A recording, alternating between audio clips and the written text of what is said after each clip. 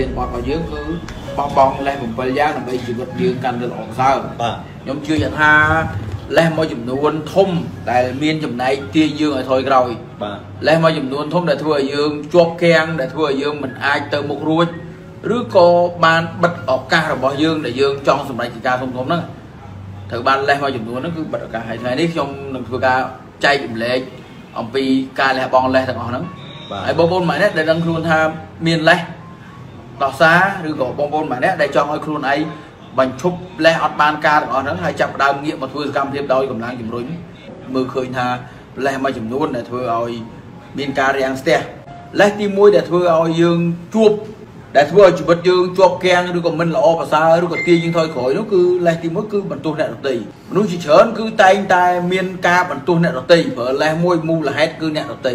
យកអ្នកដតីគឺជាប្រធានបទ ដើម្បីឲ្យខ្លួនឯងសប្បាយចិត្តដើម្បីឲ្យខ្លួនឯងយោគយល់ថាខ្លួនឯងខ្លាំងនៅល្អប្រសើរតាមពិតគឺយកអ្នកដតីគឺតែងតែបន្ទោសអ្នកដតីអូ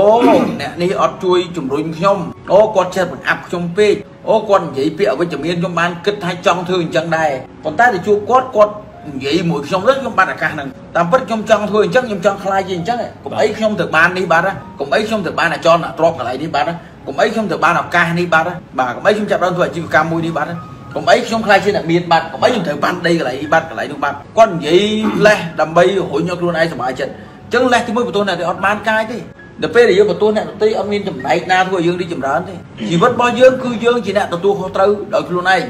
វាសនារបស់យើងគឺយើងជាអ្នកទទួលត្រូវដោយខ្លួនឯងយើងអាចមានឪពុកម្ដាយអាចមានបងប្អូនអាចមានសាច់ញាតិណាដែលគាត់ចង់ជួយជ្រុំជ្រែងយើងប៉ុន្តែអាស្រ័យទាំងស្រុងទៅលើខ្លួនយើងឯងបាទនៅពេលដែលយើងខ្លាំងនៅពេលដែលយើងចាប់ផ្ដើមលែងមានលេស យើងអាងទៅលើខ្លួនឯងជំនួយនឹងកាន់តែល្អប្រសើរគេចាប់ផ្ដើមចេះចង់ជួយយើងប៉ុន្តែនៅពេលដែលយើងគ្រាន់តែយើងអាងនឹងមានលេសដោះសារលេសអីចឹងមនុស្សគេអត់ចង់ជួយយើងទេពីព្រោះមនុស្សគេជួយតែអ្នកណាដែលអាចជួយខ្លួនឯងបានទេអញ្ចឹងឈប់ទី1គឺការបន្ទោសអ្នកដទៃ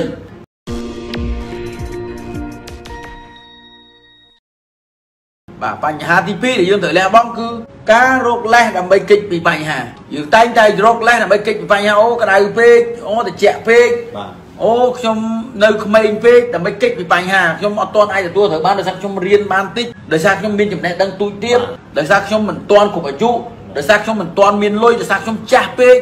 ដោយសារខ្ញុំមានជំងឺ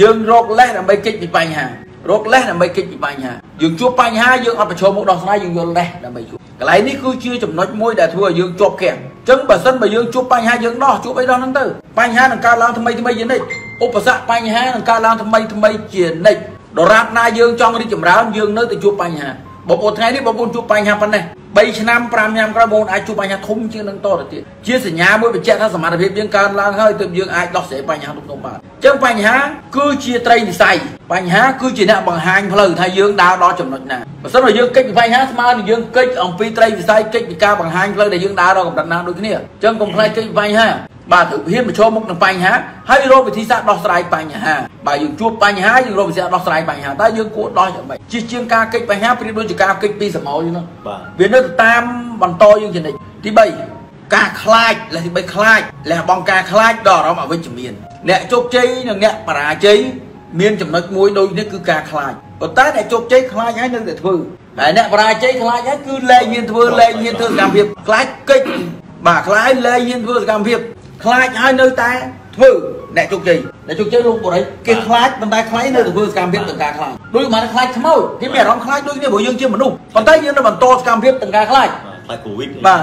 ប៉ុន្តែអ្នកដែលបរាជ័យខ្លាចហ្នឹងគឺកិច្ចខ្លាចញ័រដេកស្ដប់ភួយលែងធ្វើសកម្មភាពហ្មងខ្លាចហើយនៅតែបន្តសកម្មភាពហើយអ្នកបរាជ័យខ្លាចហើយគឺបោះបង់អញ្ចឹងបងប្អូនមើលមកយើងតើតើយើងការខ្លាចរបស់យើងនេះធ្វើឲ្យយើងថយក្រោយតើការខ្លាចរបស់យើងមានចំណែកធ្វើឲ្យយើងរីកចម្រើនទេ បើសិនបើការខ្លាចយើងពិតជាមានចំណែកយើងរីកចម្រើនបន្តខ្លាចទៀតប៉ុន្តែបើសិនបើការខ្លាចអត់មានបានកាយទេអត់អាចជួយយកយើងរីកចម្រើនមកកម្រិតទេអញ្ចឹងយើងគួរតែ ចាប់ផ្ដើមក្នុងការខ្លាចវាអត់មានចំណែកធ្វើឲ្យយើងមានការរីកចម្រើនខ្លាចវាអារម្មណ៍អវិជ្ជមានបើយើងខ្លាចខ្លាចដល់អារម្មណ៍វិជ្ជមានខ្លាចដោយយើងហ៊ានធ្វើសកម្មភាពអានោះទៅចំណុចមួយដែលល្អអ្នកមាននិងអ្នកអ្នកចង់និយាយថាអ្នកជោគជ័យអ្នកបរាជ័យដូចគ្នាខ្លាចដូចគ្នាប៉ុន្តែអ្នកខ្លាចហើយនៅតែបន្តសកម្មភាពខ្លាចហើយនៅតែធ្វើធ្វើទាំងមានអារម្មណ៍ទោះបីអារម្មណ៍ភ័យខ្លាចក៏ដោយខ្ញុំធ្វើសកម្មភាពទោះបីជាមានអារម្មណ៍ភ័យខ្លាចក៏ដោយខ្ញុំមិនធ្វើសកម្មភាពព្រោះខ្ញុំខ្លាចខ្លាចដូចគ្នាប៉ុន្តែខ្លាចនៅតែធ្វើឲ្យខ្លាចនឹងបន្ត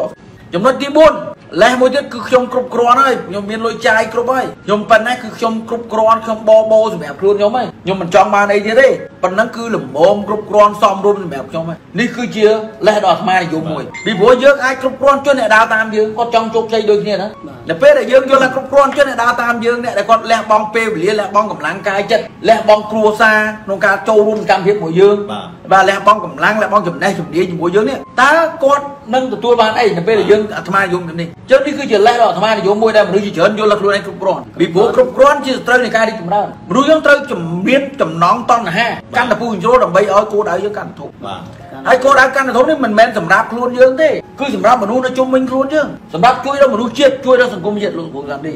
បាទអញ្ចឹងការដែលយើងយល់ថាគ្រប់គ្រាន់នេះគឺជារឿងអាត្មានិយមមួយសម្រាប់មនុស្ស សម្រាប់ខ្លួនឯងជាពិសេសសម្រាប់មនុស្សជុំវិញខ្លួនយើងបាទសម្រាប់សង្គមជាតិរបស់យើងមកតែបើយើងមានអារម្មណ៍ថាយើងអត់ទាន់គ្រប់គ្រាន់យើងមានមនុស្សដែលយើងជួយទៀត យើងនៅមានអ្នកដែលយើងត្រូវជួយយើងមានកាតព្វកិច្ចយើងជួយសង្គមទៅវិញជួយកុមារកំព្រាបាទជួយចែករំលែកដល់កុមារទូចទូចដែលគាត់ត្រូវការខ្វះខាតសភៅយើងត្រូវការប្រឹងរកលុយឲ្យបានច្រើនដើម្បីជួយគាត់នេះដែលជាចំណុចមួយដែលធ្វើឲ្យយើងកាន់តែមានចំណងទៅមុខតទៅទៀតតែបើយើងយល់ថាគ្រប់គ្រាន់ហើយខ្ញុំប៉ុណ្ណឹងគ្រប់គ្រាន់ហើយលែងចង់បានអីទៀតហើយវាជាអាត្មានិយមមួយញ៉ាំមនុស្សជុំវិញខ្លួននេះគឺជាលេសដល់អាត្មានិយមមួយដែលមនុស្សតែងតែយល់ឃើញថាខ្លួនឯងគ្រប់គ្រាន់វាជាលេសដល់អាត្មានេះទី5 លះបងទី5គឺអួតក្អេងក្អាងពេកបុករីបាទអួតក្អេងក្អាងពេកបោកក្លៀកភាសាខ្មែរថាបោកក្លៀកមានតែអញបាទអូមានតែអញចេះតិចតួច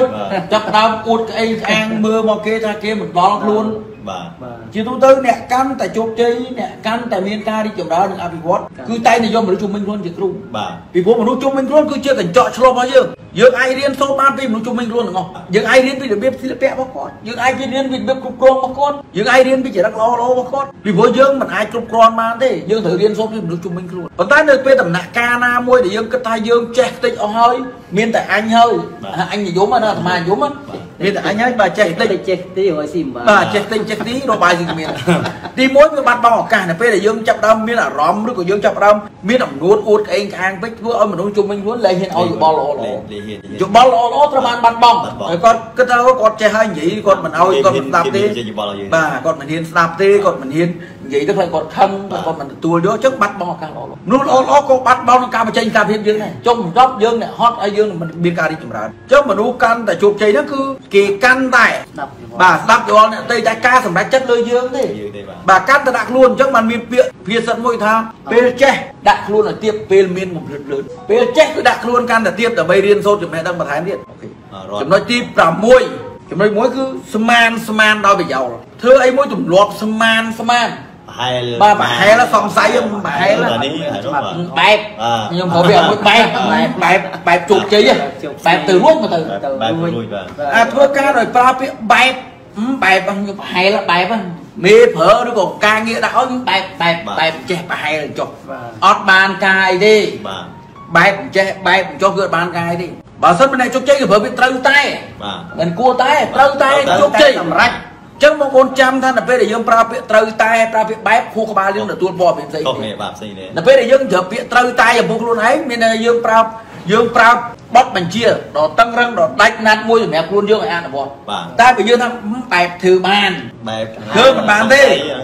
ធ្វើមិនបានទេហ៊ានរៀនធ្វើមិនបានព្រោះគ្រាន់តែបែបបែបធ្វើបានខ្ញុំបែបទៅរួចទៅមិនរួចទេតែខ្ញុំត្រូវតែទៅរួចពេលនោះរាប់ម៉ឺនវិធីនឹងកើតឡើងអញ្ចឹងទម្លាក់ចោលអាលេះបែបសង្ស័យបែបច្បោលច្បោលធ្វើការបយោលបយោលស្មានស្មានធ្វើអីបយោលដល់ស្មានហើយយកមករាយការធ្វើការ ងារយកការស្មានជាធំខ្ញុំស្មានមិនខុសទេបាទហ្នឹងអត់បានទេ គឺយើងត្រូវតែប្រើចិត្តសាស្ត្រមួយជំរុញខ្លួនយើងពីព្រោះអាពាក្យស្មានពាក្យបែបពាក្យប្រយោប្រយោធ្វើឲ្យយើងបាត់បង់ទំនុកចិត្តដៃគូជំនាញខ្លួនធ្វើឲ្យយើងបាត់បង់ឱកាសនៃការរីកចម្រើន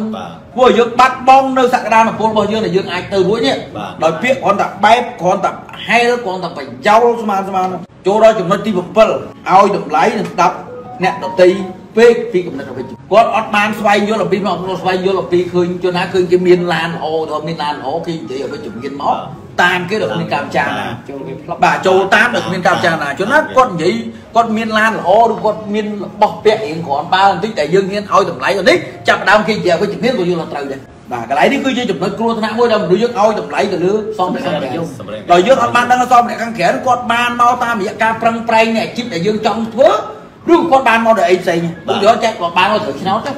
ចឹងគាត់និយាយមកយើងនិយាយមកយើងស្ដាប់គាត់គាត់អត់មានបទពិសោធន៍អ្វីយើងពោចង់ដឹងទេនៅពេលដែលយើងស្ដាប់មនុស្សអវិជ្ជមានច្រើនដែលតាក់ទងនឹងគំនិតអវិជ្ជមានដែលយើងឃើញសម្ភារៈនិយមរបស់គេយើងចាត់ដឹងអត់មានចំណៃទេប៉ុន្តែបើសិនបើគាត់បានហែលឆ្លងគាត់បានធ្វើ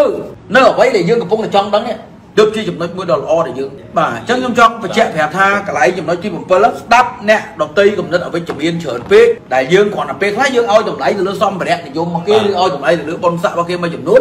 បើយើងអត់បានមើលទៅលើ background របស់គេដែលគឺក្នុងការឲ្យតម្លៃរបស់គាត់តើគាត់ឲ្យគាត់ឲ្យយោបល់ឬគាត់ឲ្យគំនិតទៅមកដើម្បីអីការគំនិតអវិជ្ជមានមិនមែនថាយើងគិតវិជ្ជមានរហូតដល់យើងមិនដឹងថាយើងមើលស្លាប់កន្លែងណាមិនមែនយើងគិតហ្នឹងគិតវិជ្ជមានអញ្ចឹងយើងធ្វើខុសគេលោតចូលឡានមិនមែនទេយើងគិតវិជ្ជមានមានយើងគិតល្អយើងគិតវិធីសាស្ត្រដោះស្រាយយើងមិនមែនគិតរកវិធីសាស្ត្រដែលបញ្ហាទេយើងរកវិធីដោះស្រាយបញ្ហាកើតឡើងតែយើងដោះយ៉ាងម៉េច បាទដោះយ៉ាងម៉េចមិនមែនថាអូនេះគិតវិជ្ជមានឲ្យទៅចូលឡានឡានកិនក៏វិជ្ជមានដែរមិនមែនទេកន្លែងហ្នឹងខ្ញុំជាក់កន្លែងនេះមានន័យថាយើងនឹងរកគិតដោយរកវិធីសាស្ត្រដោះស្រាយគិតដោយមានដំណោះស្រាយបាទយកបញ្ហាយកមកគិតប៉ុន្តែគិតដោយប្រើដំណោះស្រាយអញ្ចឹងបានជាទូទៅ យើងអាចជួបមនុស្សជាច្រើនគេអាចឲ្យព័ត៌មានយើងជាច្រើនក្នុងការគិតអវិជ្ជមានប៉ុន្តែយើងត្រូវមានទួនាទីមួយសម្រាប់យកព័ត៌មានក្នុងហ្នឹងមកហើយរកដំណោះស្រាយតើយើងគួរដោះស្រាយយ៉ាងម៉េចក្នុងហ្នឹងពីព្រោះមនុស្សយើងមិនអាចធានាបាន100%នៅយើងធ្វើសកម្មភាពដល់ជោគជ័យបងប្អូនមិនមែនទេជឿថាយើងរកស៊ីដល់ជោគជ័យ100%មិនអាចទៅរួចទេគ្រាន់តែយើងបានគិតត្រៀមខ្លួនទុកមុនថាបើហានិភ័យណាកើតឡើងយើងដោះស្រាយយ៉ាងម៉េចបាទខ្វះទុនយើងគួរដោះស្រាយយ៉ាងម៉េចយើងគួរទៅរកលុយរត់រលុយយ៉ាងម៉េចរៀបចំយុទ្ធសាស្ត្រទុនយ៉ាងម៉េចយើងគិតទុកជាមុន ប៉ុន្តែឲ្យធានាបានថាវាច្បាស់ជារលូនតាមនឹងដែរវាអាចរលាក់បាទវាអាចរលាក់អាចរលង